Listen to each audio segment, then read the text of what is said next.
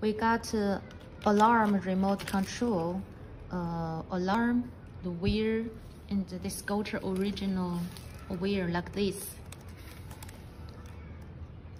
Okay. We connect uh, the controller wheel to this one. Display. Connect with the display wheel and then connect the alarm. So now, so there has four buttons. This button turn on the scooter.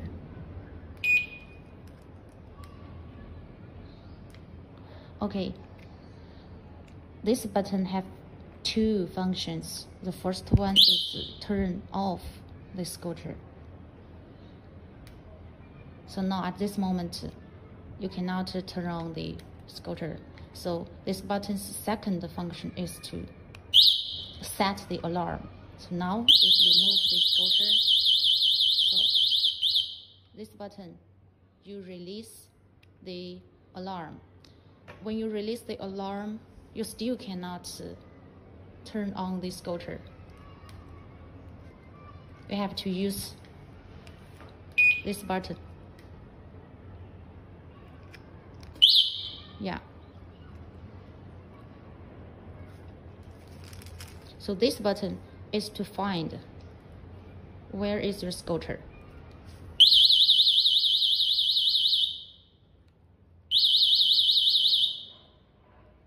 So we try again.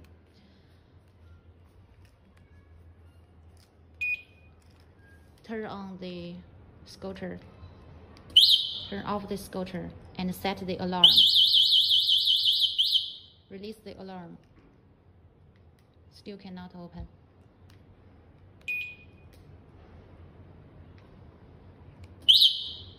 Yeah.